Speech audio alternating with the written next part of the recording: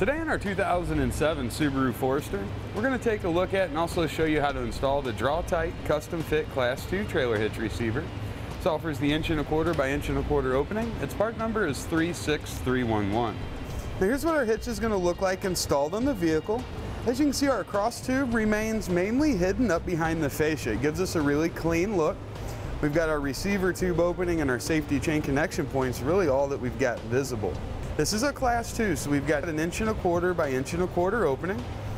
Little reinforcement band around there that's gonna give us good strength. Then you can see our safety chain connection points here. These are kind of a rolled style steel, rolled stock style steel. Plenty of room in there to get whatever connected that we might want. Now for making our connections or attaching anything to our vehicle, you can see we've got a half inch diameter pinhole right up here.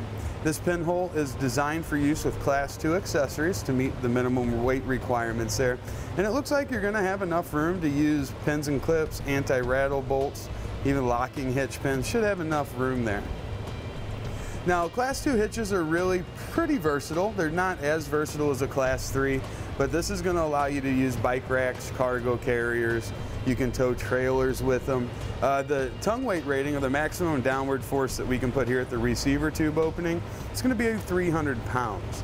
The maximum gross trailer weight rating, which is the total weight of our trailer and anything that we were to load up on it, is 3,500 pounds. The hitch is not rated for use with weight distribution, and you do want to check the owner's manual of the Forester. You want to see what its tow rating is, and go off of whichever of those numbers are the lowest.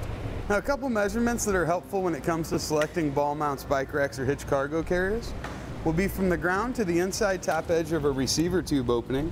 We've got about 13 and a half inches.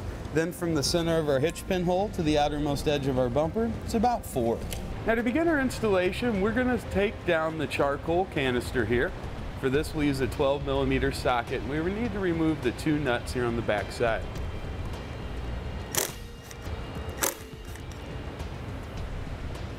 See that'll allow us to bring that down out of the way slightly so we can get to the rest of our bolts here.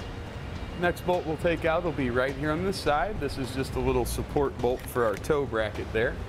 For this one we'll need a 14.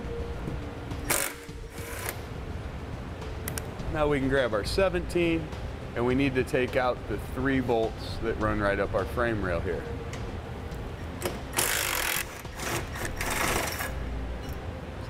Toe bracket will come off.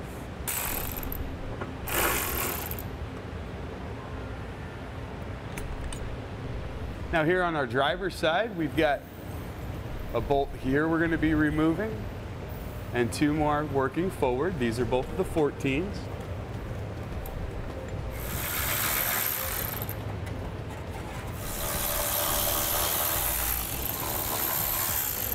Get our exhaust hanger out of the way here and we need to take out the four running forward.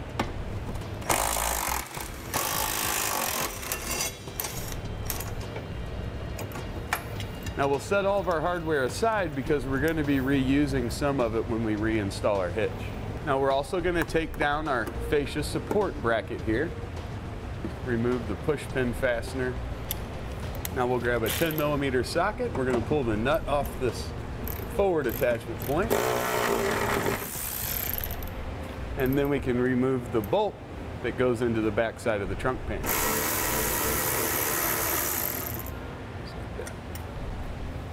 Now we'll use a little bit of spray lubricant here on our exhaust hanger and we want to get that separated.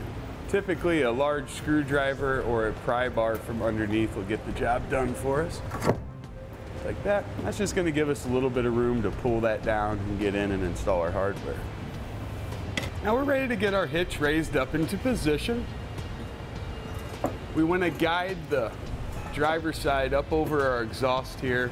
You can see we're kind of going to have to work it around that hanger and it should sit in front of our frame rail. Then we'll bring our cross tube up and over the exhaust. Now I like to let it sit right there while I take care of getting the bolts in my passenger side. Now as we do this, we need our hitch to go in the opening in our EVAP canister bracket and we're going to be sandwiching that between the hitch and the bottom of the car. Now we'll take our new hardware, just get that threaded in. You'll see a conical tooth washer on there. We want the teeth of that washer to be facing up toward our hitch And we can get three or four turns on that. We can let it rest there while we get our other side started. Now with both sides started, our hitch will be held in position. We're gonna grab our other five fasteners and get those put in place. Just be sure that our forward bolt on this side is gonna pass through our hitch bracket and also our canister bracket. We can get it threaded in place. All right, once they're all started, let's just take a quick look to be sure we have our hitch centered. We've confirmed that. Start snugging down our fasteners.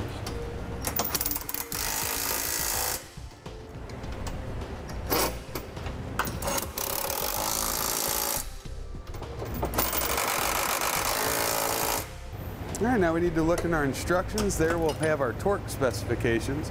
We want to get all of our fasteners torqued down appropriately.